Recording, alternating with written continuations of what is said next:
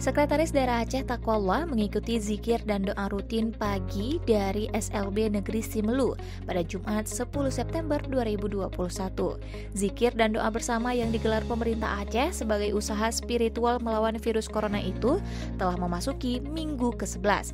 Kegiatan yang juga disiarkan melalui aplikasi Zoom tersebut diikuti para ASN, Sekretariat Daerah Aceh dan Satuan Kerja Perangkat Aceh, serta para siswa dan guru SMA dan SMK di seluruh seluruh Aceh.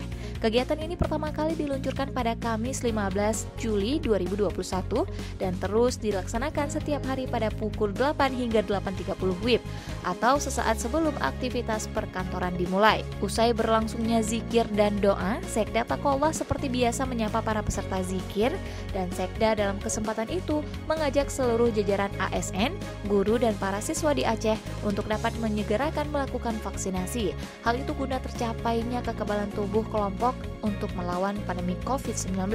Pada kesempatan itu pula, Sekda juga mengapresiasi kebersihan lingkungan sekolah yang sudah menerapkan semangat bersih, rapi, elok, dan hijau atau bereh.